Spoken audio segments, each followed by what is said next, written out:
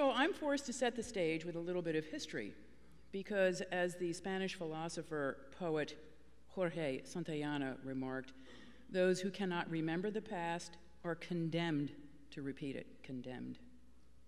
So let's remember our past for a moment and reacquaint ourselves with why and on what principles this nation was founded. The mothers and fathers of the American Revolution revolted against a tyrant, King George III, whose coercive acts of 1774 drove the colonists into unified opposition. Hmm, a great divider actually becoming a great unifier. The Declaration of Independence of 1776 lists the reasons for needing to break from tyrannical rule and the need to establish independence as united states. The Constitution came into force more than a decade after the suffering under British rule and the great breaking away. There was time for reflection, a word for us to remember, time to figure out exactly how they would express their new nation's purpose in a preamble. How, before getting into the nuts and bolts of daily governance, they would describe the spirit of the supreme law of the land. Before I go any further in setting the stage for tonight's main event of speakers, I invite you to help me in that effort by reciting the preamble with me. And if there is anyone listening who would like to put it to music, uh, I hear there's grumbling for a new national anthem. So here is the spirit of our Constitution. Let the words be like poetry, written by a bunch of white men who intentionally ignored gender, class, religion. Let us recite the preamble. We, the people of the United States, in order to form a more perfect union, establish justice. Ensure domestic tranquility, provide for the common defense, promote the general welfare, and secure the blessings of liberty to ourselves and our posterity. Do ordain and establish this Constitution. for the United States of America. Thank you. Thank you. So, right now, we are here because we live in a time of great upheaval and violence on many levels, both physical and psychological.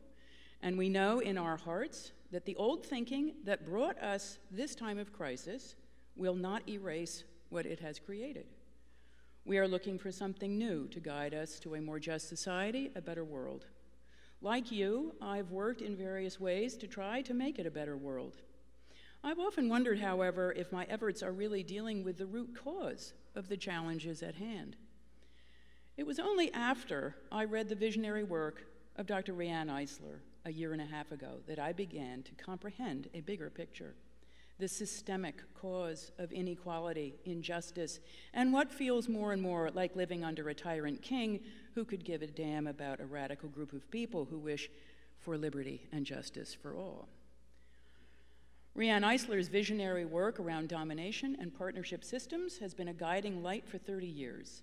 And my having read her bestseller, The Chalice and the Blade, when I did in March of 2016, prepared me, sort of, for the election results that November. When she and I started working together, she predicted that Trump would win. And she has a pretty solid idea about why 50% of white women voted for a bully. In a nutshell, Riane believes that humans work together in partnership for at least 30,000 years, and that about 4,000 years ago, profound changes occurred, and that system was replaced by might makes right, the domination system a system we are all stuck in to varying degrees today. In 1776, a valiant effort was made to turn a God ordained tyrannical rule into a democracy. That effort is alive for us today. We are keepers of it. That's why we're gathered. We know that we are in a crisis. In this country, about 30 years ago, the conservative right began to coalesce around defeating the Equal Rights Amendment, and the culture wars ignited in full force. It is Dr. Eisler's contention, and I agree with it, that the domination model began to further define four key cornerstones that underpin any society economics, gender, narrative, and family. The speakers we have today will be addressing those four cornerstones from their perspectives, from their places in the partnership system. And like our founders, united by a tyrant, we must unite. We won't stop our understandable daily reactive efforts to the daily assaults, but we must unite with an integrated progressive agenda. An agenda, a platform built upon the foundation of partnership, grounded by the four cornerstones that we will repopulate with the principles, the spirit of 1776. First to speak is Laura Flanders, my friend and colleague, progressive journalist, forward thinker, and a really fantastic in depth interviewer. She is the host of The Laura Flanders Show, Grit TV. Laura will be addressing the cornerstone of narrative. Let's give a big welcome to Laura Flanders. Hi, everybody. I, I want to just give a quick round to Friederike Merck, who really does know how to partner.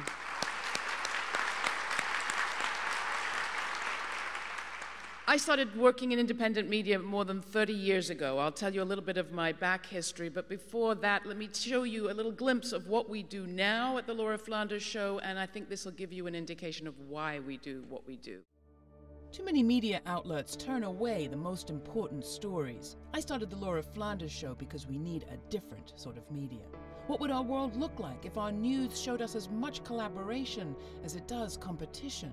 What if we got to meet people making change right here, right now, in all sorts of ways we're usually told are impossible? What does structural racism look like in this country? So much of how we've been socialized to be human is to resist change, to try to create these institutions to take over everything. People are now beginning to question our entire system. We don't have the state, we don't have the prisons, we don't have the cops, thank God. Um, what we do have is the wild queer feminists of color decolonial imagination. Each week on the Laura Flanders Show, I get to sit down with the smartest thinkers and doers of our time, forward thinking people you know and others you'll want to know. I'm interested in what's going wrong and also what's going right. Meet the people and the movements who are pioneering better ways of living in tune with our ecosystem and each other, and find out how you can help. Modern capitalist enterprise is the negation of democracy. Climate change changes everything. We are in for dramatic physical change to our world, one way or another. We have to see this as a global movement we can't see our issues as just domestic issues. The Laura Flanders Show also features exclusive investigative reporting. What are the systemic issues that result in a young man being murdered? We want our community to be reinvested in, but we want to be at the table. We want to be decision makers. I knew what Katrina did here was a result of a natural disaster. What I saw out there was a man made disaster. There's all kinds of amazing prison abolitionist work going on, and divestment is just one part of that. We know, we strong, we march all day long. It's one tactic that's a part of a much broader movement. And provocative commentary. And I think women are in the forefront of the struggle against sacrifice zones because women know a thing or two about being sacrificed. The Laura Flanders Show, weekly on Telesur, Link TV, MNN, and Free Speech TV. Our podcast is available in audio and video at lauraflanders.com. Join us. This year will be the year that we do what we've been waiting for. This year will be the year that we stop knocking and kick down that door.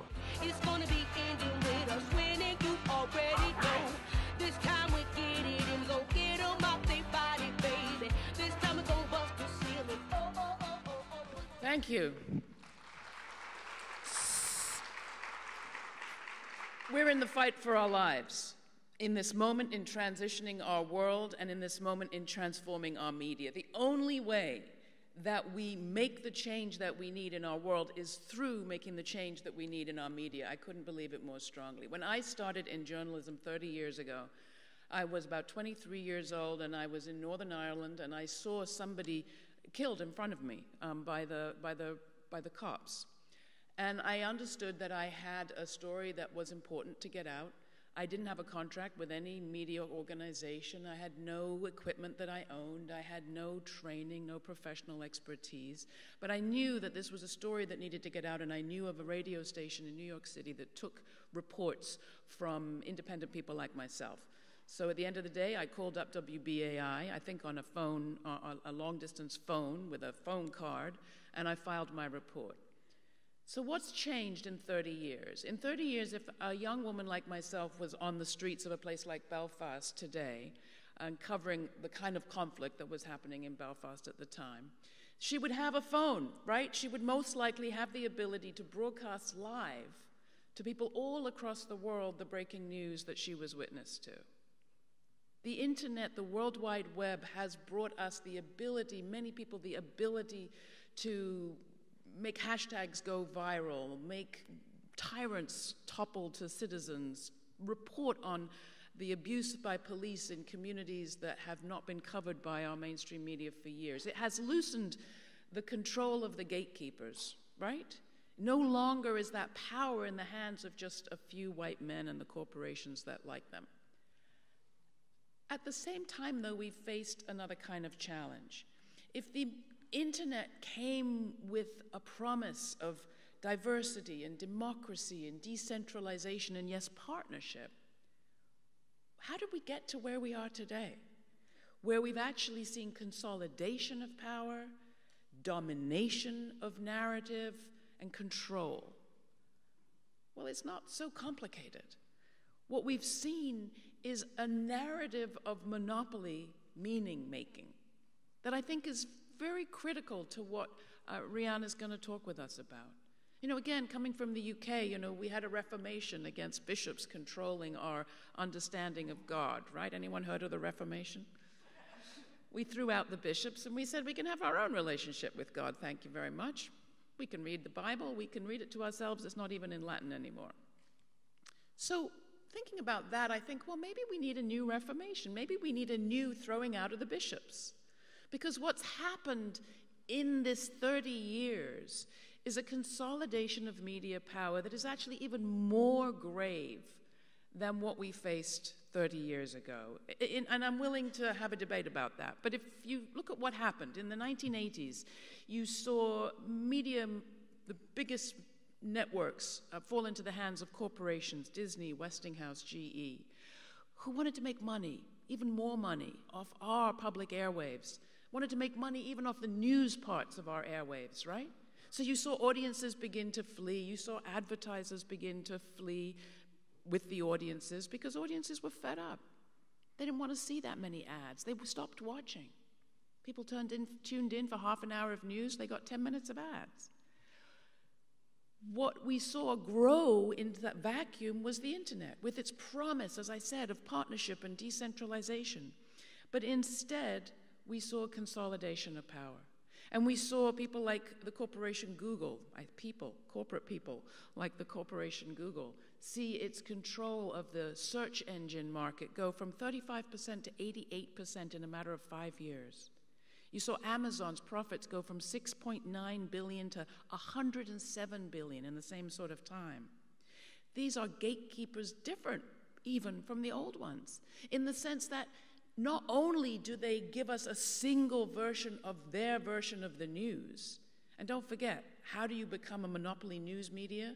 You have to persuade people that they only need one version of the facts, not the version of the pamphleteers, that is the era that Friederike was talking about, but the version of the evening news, the one newspaper in town, the one source you needed for your news. Hence the myth of objectivity. The dominant story was the only story you needed to read. Well, today we have this illusion of diversity and multiplicity. We have all these websites we can go to. But our news is coming to us through a few very controlled portals. Over 70% of all the audience that goes to any news site goes through Facebook. Think about that.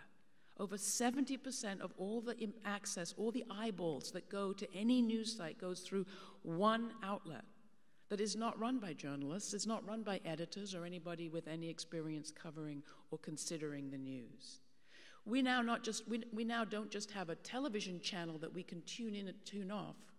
but we have media in our pockets that is engaging us in a discourse that young people who use Snapchat, for example, are checking 150 times a day.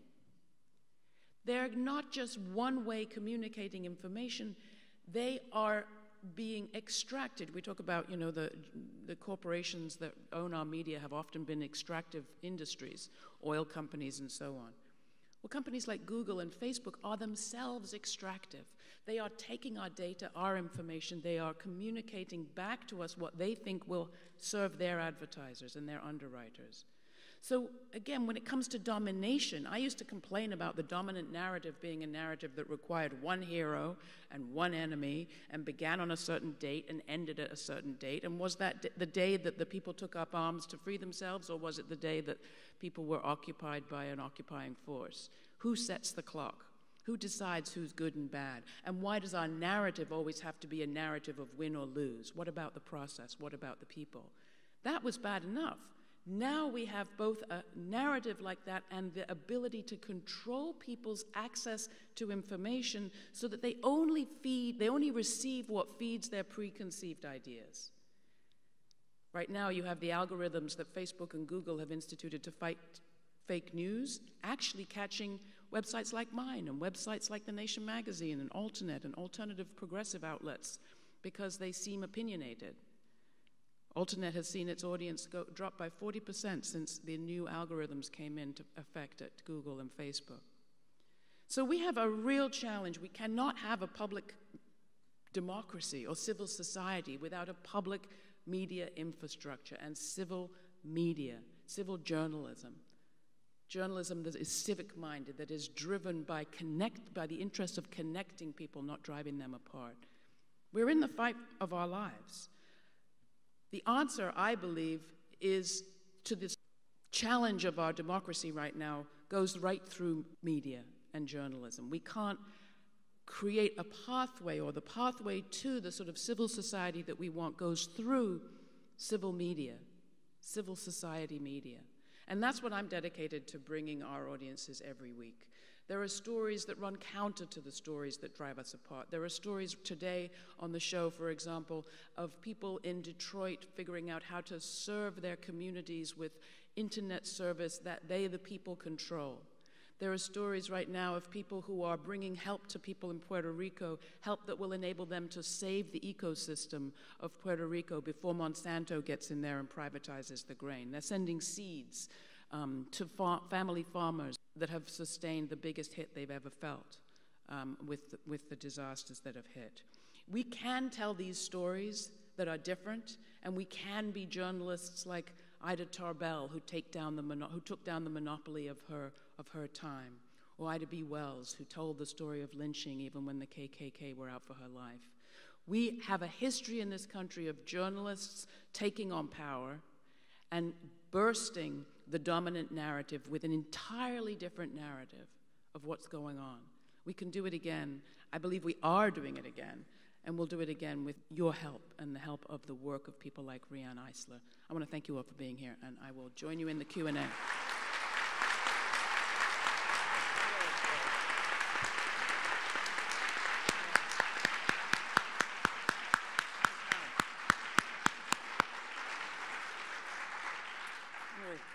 Terrific, terrific, terrific work. Uh, our next speaker is Jamia Wilson, really dynamic new executive director of the Feminist Press. She's a feminist activist, writer, much sought after commentator on the national and regional levels. I'm delighted she could join us today to address the cornerstone of gender. Let's give a big welcome to Jamia Wilson.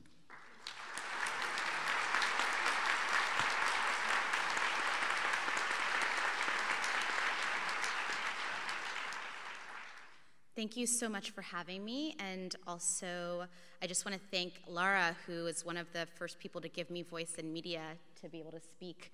And I want to say that that's about collaboration and interdependence because I wouldn't have been able to grow in my media making and work if people like Laura didn't give voice to young, hungry activists um, who just moved to New York far before I was working at the Feminist Press.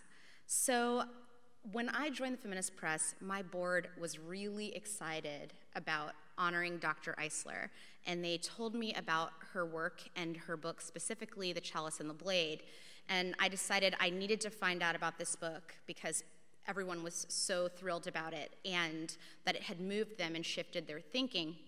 And when I did read it, I learned that the call for partnership systems was really an antidote to systems of domination and oppression, and that really resonated with what my heart and spirit's always been yearning for, but specifically in this political and cultural moment, and I don't have to tell you why, uh, because what I really believe that my place in the movement for gender justice is about is about promoting righteous solidarity as resistance. So, although there are many facets of how I could go about speaking to gender and how it relates to the model that Dr. Eisler wrote about in her books and the partnership systems model, I want to specifically talk about the body and explore the body as a place where systems of domination try to exert power, power over versus power with, through violence, through fear, through shame, through blame, and through stigma. As Dr. Eisler notes, the Trump administration continues to promote strong men and strong state violence against those who are excluded from its narrative. This is immigrants, refugees, undocumented persons, people of color, and especially women, and our reproductive rights, transgender individuals, and the LGBTQ community, disabled people, and many more. Her framework recognizes that untangling one injustice involves working to transform many other kinds we're all inextricably connected to each other's liberation. And it's important to understand that this violence is intersectional. The issues of gender, race, and class are all intertwined and experienced differently depending on our positioning and proximity to privileged identities within our culture. And to better append any manifestation of this violence, we must consider these issues together and advocate for social justice where none of us are left behind. So let's consider for a moment some of the most pressing issues that oppressed and marginalized groups face today. Police brutality and mass incarceration are major issues that impact me as a black woman, but also as an American. Barriers to caregiving access for our most vulnerable community members, including our children and our elders, and wage inequality and inaccessibility to gatekeepers. These are just a few to name. Think of how many people, particularly women, who have stories told and untold about their experiences with these issues. Just this week, in the aftermath of the revelations about Harvey Weinstein and his long track record of sexual harassment and abuse, we've seen social media flooded with hashtag MeToo stories and testimony about women and non binary people's experiences with sexual harassment and assault. These exemplify the values of partnership systems because they encourage empathy, they encourage action, and encourage community. And that's why, to put these into context, I just want to tell you a few personal stories. Because to quote Muriel Rukeyser, who we have also had the pleasure and privilege of being able to print at the Feminist Press, what would happen if one woman were to tell the truth about her life? The world would split right open. So I'd like to briefly share the stories of my mother's experiences with racial and sexual violence, as well as the story of my cousin Joan Little. I grew up in this Southern family that was full of deep love, but also deep suffering. And growing up, I learned early on that women's bodies specifically were battlegrounds, that black women's bodies and being a black woman would come with deep, deep pain that I was told about at an early age. My parents set me down, and my dad said, Not only are you black, but you're a woman and you're smart too. And you're not afraid to speak your mind. Your life is going to be rough. And while putting that in context, I learned about how my mother was one of 200 students who protested against segregation in her college community in 1968 in a town called Orangeburg. And two of my mom's friends were killed, along with a 16 year old high school student, simply because they wanted to integrate a bowling alley. That was the first time that law enforcement was at fault for a mass shooting at a college campus. but most people don't know about that like they know about Kent State. Just over the weekend, I went with my mom, who's a very, very stoic woman. I think I've seen her cry three times in my life, and one of them was when her wisdom teeth was taken out, so it was involuntary. We went together to the site of this violence, and my mother, who's, again, unflappable in that Maxine Waters kind of way that I love, was weeping and just got choked up for a minute and said, Those were my friends. And she started talking about how one of them sat behind her in the classroom and another one, in his sweet manner, would always ask her how her day had been. And she said, As the police shot at us indiscriminately, it could have been me, but it wasn't. But it was them. It could have been me.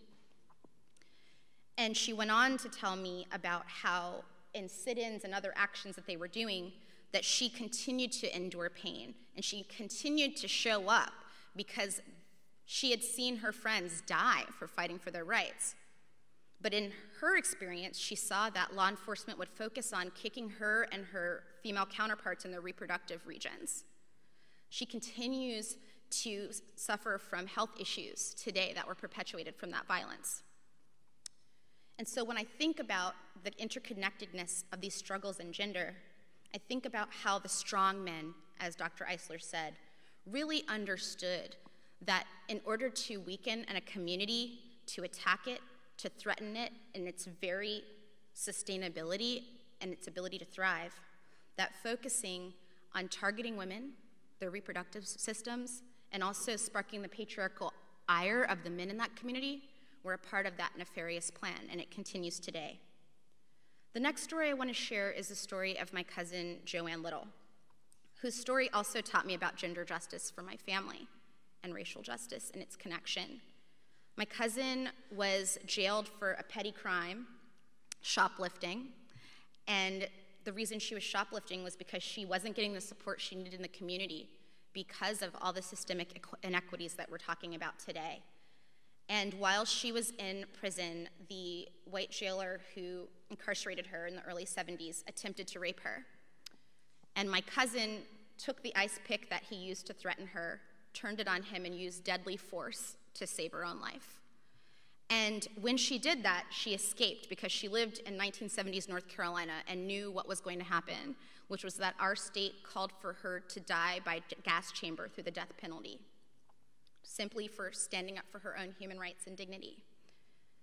But then, when she escaped and other people in the community came together, people gave her safe houses, they supported her and rallied around her and built a partnership based collaborative coalition. She decided that she was going to put her life in the hands of the court, as she said.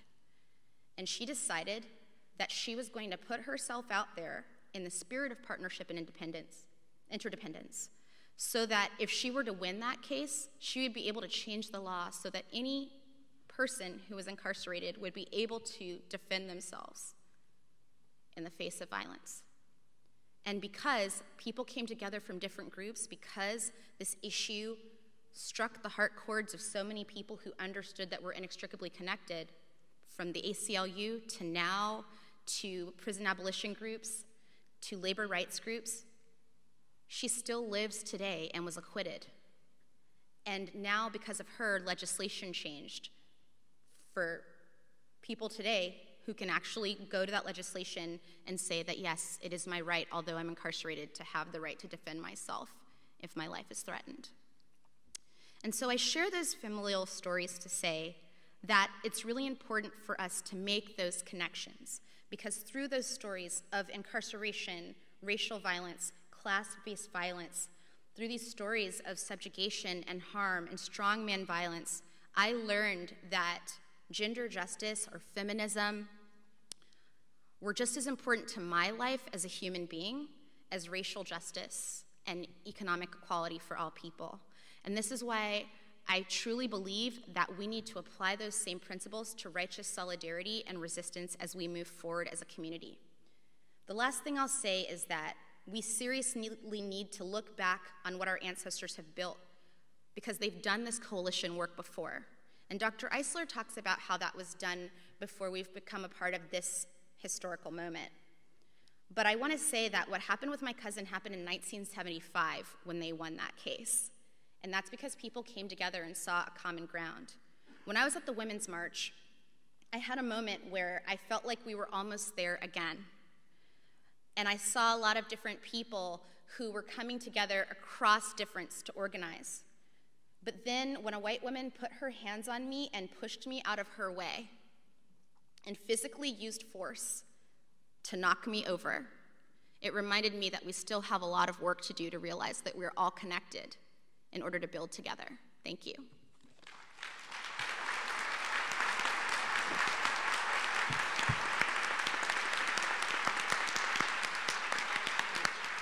Thank you so much. Really, fantastic, fantastic. Our next speaker is Tony McAleer. He is the executive director of Life After Hate, one of the organizations whose grant money was awarded by the Obama administration and rescinded by the domination, I mean, the, the Donald Trump's administration. Tony is a former organizer of the White Aryan Resistance and served as a skinhead recruiter. His personal transformation, inspired by love, has brought him here today to speak about the cornerstone of family. Let's give a big welcome to Tony.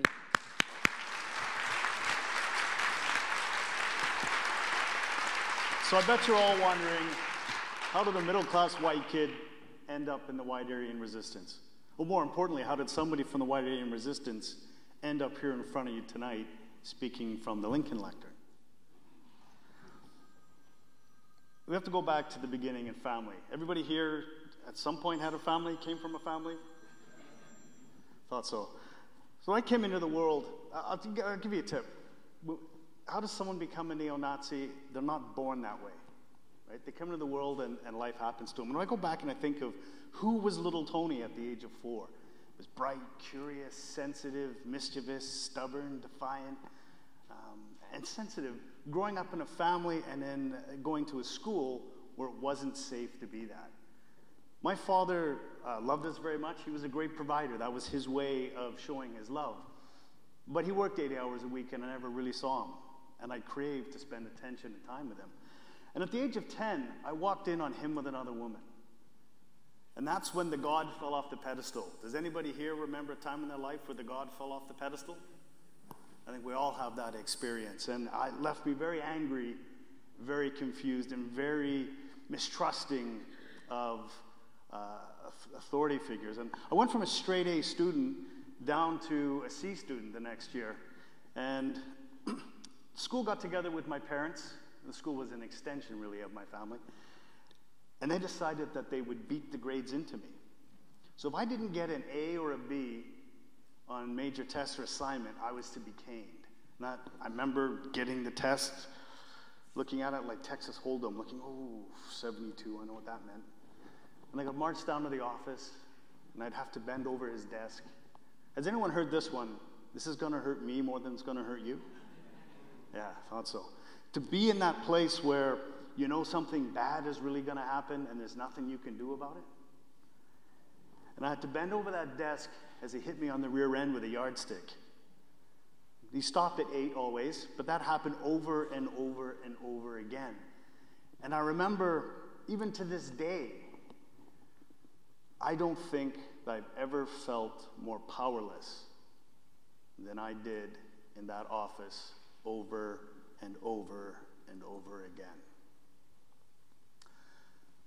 I ended up having to, to leave that school and, and take those experiences. And what did I do with them? You know, there's an old saying that goes, What we don't transform, we transmit. And I took that domination and the shame that it created, and I went out into the world. And I chose to do it to other people. I became a skinhead. I embraced ideologies of domination because when the product of domination is shame. And we are, when we are living from a place of shame, we want to react to that and dominate. It's an endless cycle. And I can remember I was about 17, and it was one of the things that I'm, I'm really ashamed of that I did, and I participated in a gay bashing. And we chased this young gay man into a crawl space in a construction site. And he went underneath into the darkness. And we couldn't get after him. We knew we could hear him scurrying in the darkness, couldn't see him.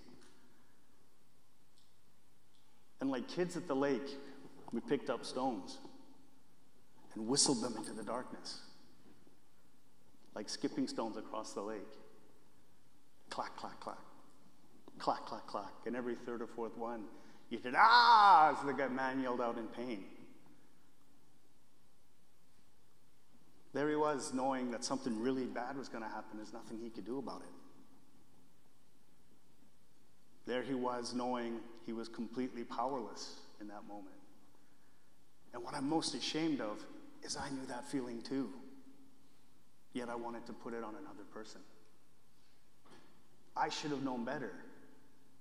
I should have had compassion and empathy for that man, but I couldn't. I didn't see that. I wanted to project it out onto the world. Then, when I was about 23,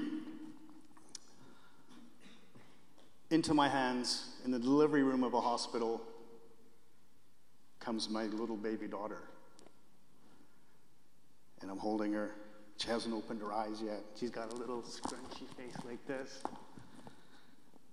And she opens her eyes, and my face is the first picture her brain's going to. And I connected with another human being for the first time since I couldn't remember when. I had shut down. To be in that place that I was at, I was completely shut down from my heart. It was too painful. You know, we come into this world open, and we shut down because it's not safe to stay open. But I couldn't help to open up in front of that. And I had a son 15 months later, and I got to parent him the way that I always wanted to be parented, which was the opposite of domination. And these children, the way they responded to that was it's safe to love a child. They give us unconditional love and compassion. It's safe to love a child. They're not capable of shaming, they're not capable of ridicule. They're not capable of any of those things, at least not till about 13, and then that's all they want to do. But in that safe, safe place, I allowed my heart to open and to thaw. And, and what those children gave me in that gift, and, and you know, it's the gift within partnership. You know, empathy and compassion. You know, when we're compassionate with someone, you know what we do to them? We hold up a mirror and through our compassion, we allow that person to see their own humanity reflected back at them. They were my mirror to my own humanity that I couldn't see when I looked in the mirror. It was incredibly powerful experience and, and gift that, that they gave me. And I think when we go out into the world, um, this is what I truly believe. You know, coming from a place where I had dehumanized other human beings, the level at which we dehumanize other human beings is a reflected a reflection of how internally disconnected and dehumanized we are. And I think that until we go and look and correct that disconnection and dehumanization within ourselves, as long as we're dehumanizing anybody for any reason, we can never have peace. And so the mission of Life After Hate is to inspire people to a place of compassion and forgiveness for themselves and for all people. We have compassion for everybody else, but not ourselves. That's about ego. If we have compassion for ourselves and nobody else, that's narcissism.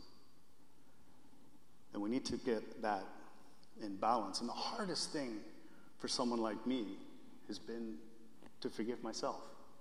Because I did horrible things to people who didn't deserve it. And I spewed all kinds of poison into the world to people who didn't deserve it. I made people feel unsafe to people who didn't deserve it. And it sounds self serving to get to that place of compassion and forgiveness for the self. It's self serving. Good for you, Tony. You know, I'm glad you've been able to sort that out for yourself.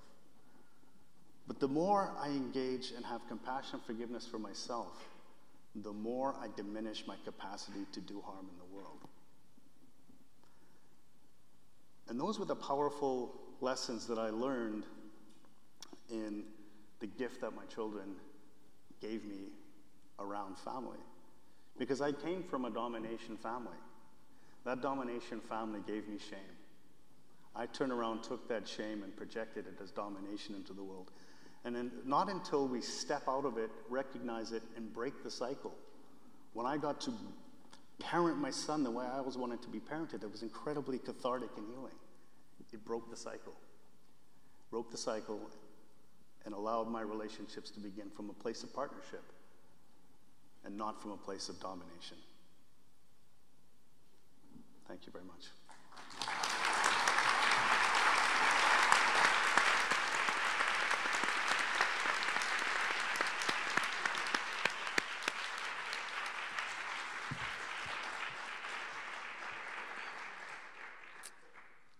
Thank you so much. Our final speaker is someone whom I think of as a light on the porch. This is an old expression. During a terrible blizzard, my grandfather got lost in the woods of Vermont, and his sister stood for hours on the porch of their home, slowly moving a lantern back and forth until my grandfather, almost dropping from exhaustion, saw the light on the porch. Riane Eisler is my light on the porch. Because of her work, I understand my own experience with the domination system, and it has clarified my political work as well. Actually, I think Riane has been waving her lantern for all of us for decades. Perhaps we're now ready to look at her and look her way. This former systems scientist for the RAND Corporation, author of numerous books and scholarly publications, has figured out something profound, I believe life changing. And with that light, she also offers us a new lens to look through, offers new thinking to consider, to reflect upon, as we make our way to a more unified country through partnership, through an integrated progressive agenda. We're going to see a video first, and that will lead us to Riane Eisler.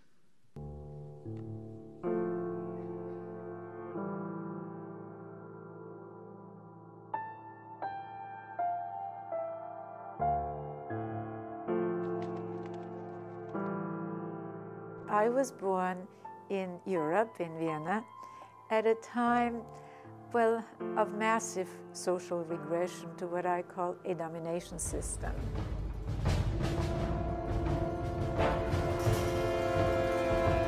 It was the rise to power of the Nazis, first in Germany and then in my native Austria. So from one day to the next, my whole world collapsed, and my parents and I, we became hunted with license to kill.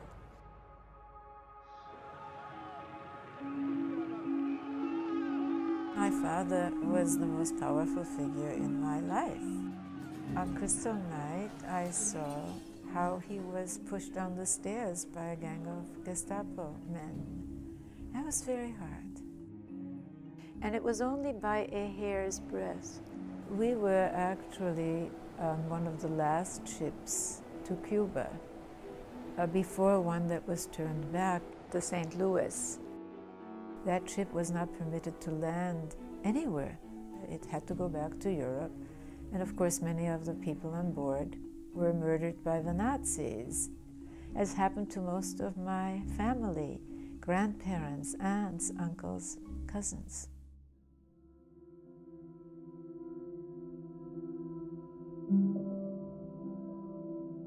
Growing up that way and witnessing and experiencing what I did led me to questions. Questions that most of us have asked about whether it has to be this way. When we humans have such an enormous capacity for caring, why has there been so much insensitivity, so much cruelty, so much destructiveness? So when I set out on my research, I actually drew from a much larger database than most studies. And I began to see patterns, configurations historically and cross culturally that are not visible using these very fragmenting lenses. such as right or left, religious or secular, Eastern or Western, capitalist or socialist, and so on. Particularly revisiting the story of our cultural origins. A fascinating picture began to emerge.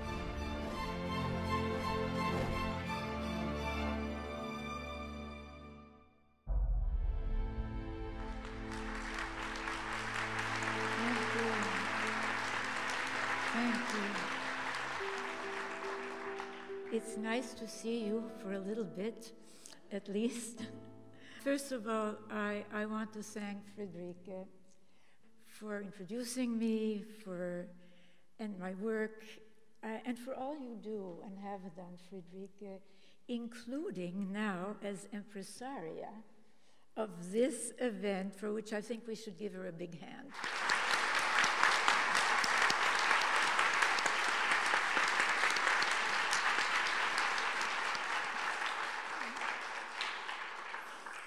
It is a great pleasure for me to be with you tonight.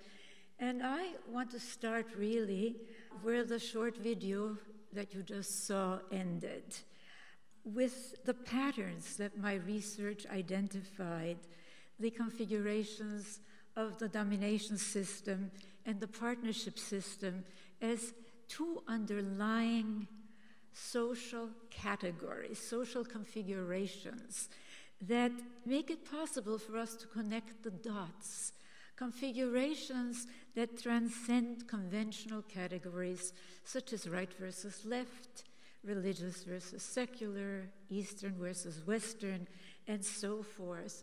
So I'm asking you really to step out of your comfort zones because we're also used to these categories and consider well, what happened to me?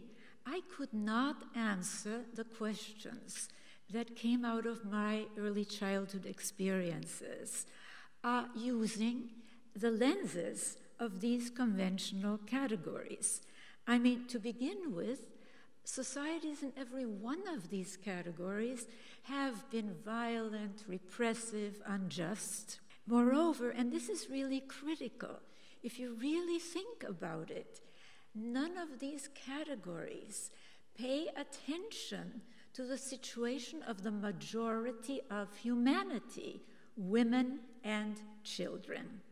And therefore, they all ignore also the findings that we have from psychology and now also from neuroscience that what children observe, what children experience in their families and other early environments affects nothing less than how our brains develop. In other words, it affects how people feel, think, and act, including how they vote. And I'll get to that. Now, by contrast, because I want to really sort of give you a bit of the larger picture before I get to the fourth cornerstone of economics, the categories of partnership and domination systems take all of this into account. And it's only when we use these new lenses that we can see the four cornerstones that we're talking about this evening family and childhood, gender, economics, and narratives and language and how different, how very different these are, depending on the degree to which a society orients to either end of the partnership domination social scale. So, just to give you some examples, whether it's a secular rightist regime like Hitler's Nazi Germany, or a secular leftist regime like Kim Jong un's North Korea whether it's religious regimes like ISIS or uh, the Taliban or, the, or Iran, or would be theocracies like the Rightist Fundamentalist Alliance right here in the United States. If you look for these four cornerstones, what you see is, first of all, their ideal norm is consistency one of domination, family, and cultural relations. Of course, that then translates into domination in the state or tribe. I mean, we have to begin to connect the dots.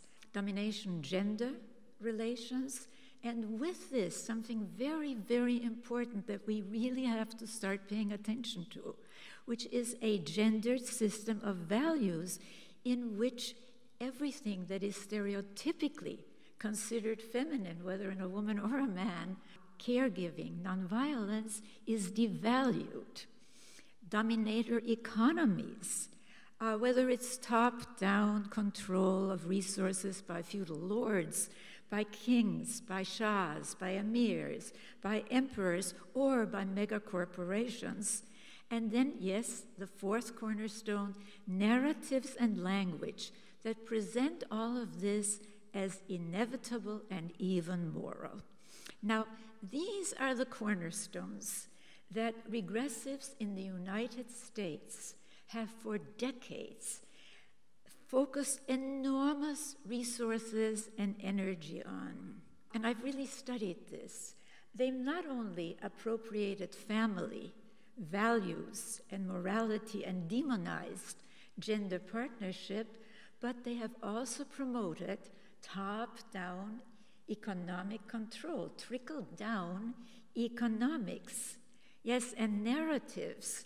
Some of you remember narrative that still rings in my head, which is that what's good for General Motors, a mega corporation, is somehow good for us all. Now, these are the cornerstones that they have understood. They've had an integrated regressive political agenda focused on these four cornerstones, when by contrast, and this has really been our tragedy, most progressives have not focused on building these foundations for a more just and caring partnership system, and we must. That's what this is about. Now, the prior panelists have eloquently discussed the first three cornerstones, and I want to briefly talk about the fourth cornerstone economics. And I am not going to talk with you about economics from the conventional perspective. Again, here I'm asking you to step out of your comfort zones of capitalism versus socialism or socialism versus capitalism, because, frankly, well, to begin with, both these systems came out of the 1700s and the 1800s, early industrial times. And we are now in the 21st century post industrial age. So, on that count alone, they would be antiquated, but there's much more to that because they also came out of times that oriented much more closely still to the domination side of the continuum. If you really look at it, it was a time when authoritarian regimes of kings, emperors, sheiks, and so on ruled in states and tribes, and yes, men. Men ruled over women and children because these Enlightenment philosophers, like Locke, for example, yeah, everything applied to relations between men and men, but when it came to the relations of men with women and children, uh uh-uh. uh So that even in the United States, in most states at the time that capitalism and then socialism emerged, women and their work were by law and custom the property of their husbands. We should be teaching that in our schools because people need to understand what we really are trying to emerge from, which is this integrated domination system. Well, obviously, all of this was very bad for women, but it was also bad for men and children of both genders. Because, as I said, with the subordination and devaluation of women comes a gendered system of values that, as I said, we've really got to pay attention to. And because we've inherited this, in which these traits and activities that are stereotypically, because this has nothing to do with anything inherent in women and men, stereotypically associated with women, such as caring, caregiving, nonviolence, are simply not considered. Keeping a clean home environment, you know, that was just women's work. So for both Smith and Marx, nature was there to be exploited. Not a word about caring for nature. And for both of them, the women's work, quote unquote, of caring for people starting in early childhood just wasn't part of their, what they considered, quote, productive work. And of course, as long as caring, I mean, these are systems dynamics we need to understand. As long as caring is so culturally devalued, we cannot realistically expect caring social and economic policies, including policies that no longer damage our natural environment. Now, the basic problem, and I write about that in my book, The Real Wealth of Nations, is that both capitalism and socialism fail to include critical parts of what is really the economy. They only include the market, government, and to some extent the illegal economy, but they fail to include the three life sustaining sectors natural economy, the volunteer economy, and the household economy.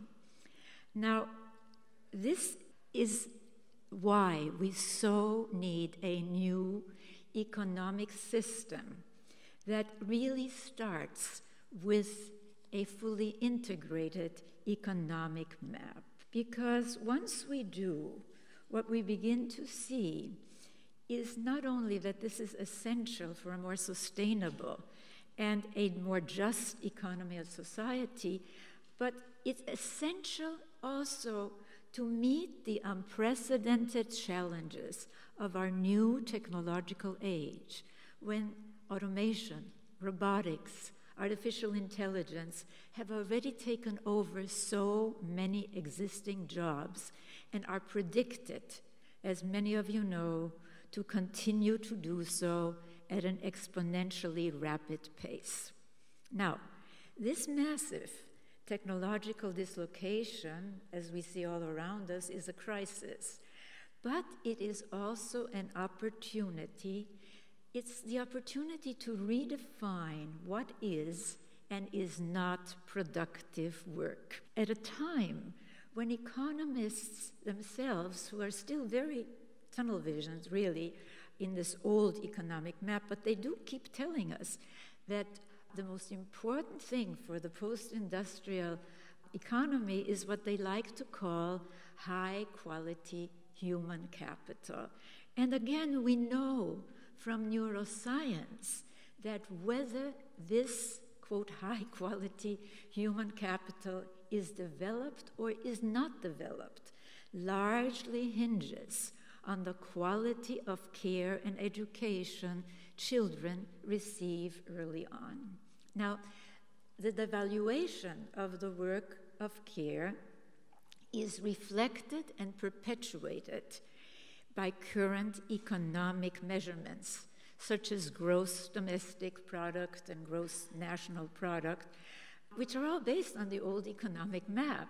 And they're very bizarre measures because consider that they actually include activities that take and harm life. Making cigarettes, great for GDP. Selling those and then the medical bills and the funeral bills, fantastic for GDP. Oil spills, great for GDP. You know, the cleanup costs, the lawsuits, etc. So, really, this makes no sense. I mean, for example, an old stand of trees is only included once it's chopped down. That's when it gets into GDP. Never mind that we can't breathe without having trees. And of course, it fails to include not only that, but it fails to include the hard work of people who care for children, the sick, the elderly, and others at home, even though studies show that if its value were included, it would constitute 30 to 50 percent of the reported GDP. I mean, that's huge, but I bet you you've never heard of that. Well, we've got to really make that information available to people. Well, so a first step is to change how we measure economic health. And the Center for Partnership Studies, our Caring Economy campaign, has done just that. We developed what we called social wealth economic indicators. And you can find out more about them at caringeconomy.org, including that our wealthy United States is the only developed nation with no national funding for paid parental leave, invests the least in early childhood care and education, and less than half as much in family benefits as other OECD nations, and invests only about one third as much on environmental protection. So, not coincidentally, yes, as these metrics also reveal, because it not only looks at where we are, but at what kind of investments or lack of investments where we are correlates with that, our nation's child poverty rate is nearly twice the OECD average. We have the highest infant mortality rate of all major developed nations. We have a huge maternal mortality rate, and we have the lowest enrollment rates in early childhood education. Now, obviously, all of this is horrible in human terms, but it's also really horrible in strictly economic terms once we leave behind these old ways of thinking about economics, because consider what this says about the failure of our nation to invest in human capacity development that is so essential in our post industrial era, since we know from neuroscience that 85% of our brain architecture is formed in our very early years. So, changing, by the way, the devaluation of care work is also essential to cut through seemingly intractable cycles of poverty. Worldwide, and again, you probably don't even know this, most people don't, worldwide women are the mass of the poor and the poorest of the poor. Even in these wealthy United States, according to the US Census, women over the age of 65 are twice as likely to live in poverty as men of the same age.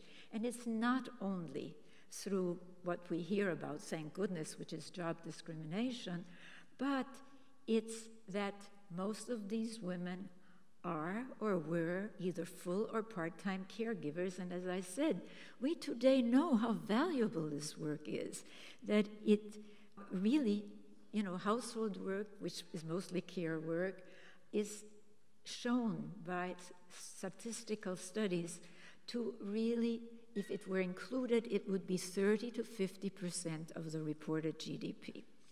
So, of course, now, you know, a lot of people are going to tell you, including many of our government people, well, supporting caring for people is just not economically feasible. But actually, and again, this is something the Caring Economy campaign highlights, it is extremely profitable. And I want to end with that. I want to end with an example, a real life example of nations such as Sweden and Finland, that pioneered caring policies.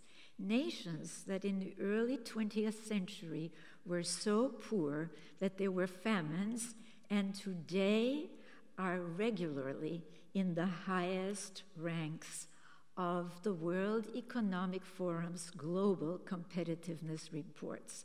Because a major factor in that was that they did invest in caring for people starting in early childhood. But, and this is really where we come right back to these four cornerstones, because none of this was coincidental. It happened because these nations moved toward the partnership side of the partnership domination scale. And you can see that if you look at them in terms of the four cornerstones we've been discussing. First, family and childhood.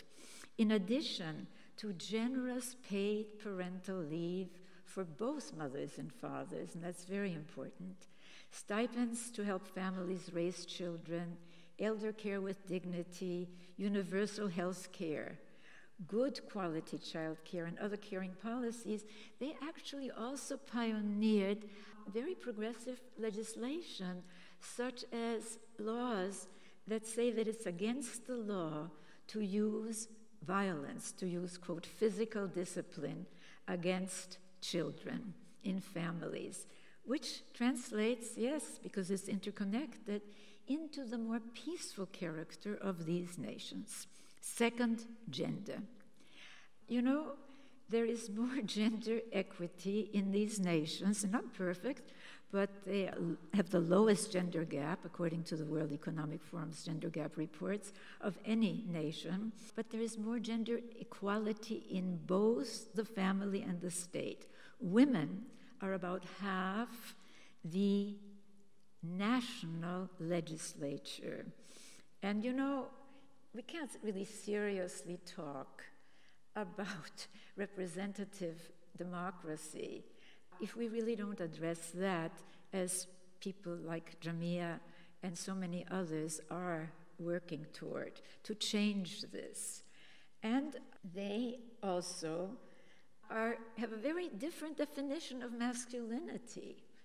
You know, something that Tony so eloquently really talked about here, because they, as the status of women rises, and this is really interesting, it wasn't just women who voted for more caring policies in these nations, men did too, because as the status of women rises, men no longer feel it's such a threat to their quote identity, their quote masculinity, if they too embrace more stereotypically feminine caring values. Economics, as you saw, they have a more caring economics, which also includes caring more effectively for nature. And fourth, narratives, Laura spoke about this, they're different. What they consider moral, what they consider right, is different from the narratives in domination systems, and so is language. You know, they often call themselves not social democracies, which, by the way, was a term Hitler also used. They call themselves very often caring societies. So there is much more I'd like to share with you, but I have to close. So I want to invite you. Well, in doing this thing that we hear so much about in recent years, that has almost become a cliche, are uh, thinking outside the box. And yes, putting this new thinking into action by joining with us to build these four cornerstones partnership, family and childhood relations, partnership, gender relations, a new economic system that is embedded, of course, in the principles of partnership rather than domination, a caring economy. And I know that people do a double take, you know, when you put caring and economy in the same sentence, but just think isn't that a terrible comment on how we've been conditioned to accept that uncaring values should drive our economic systems? It doesn't have to be that way. And of course, that takes me to narratives and language. In other words, these four cornerstones, we've got to build them. Regressives have paid so much attention to them. We progressives must, because otherwise we will not have the foundations for that more equitable, sustainable, and caring world we so want and need for ourselves, our children, and generations to come. I thank you. Thank you. Thank you. Thank you.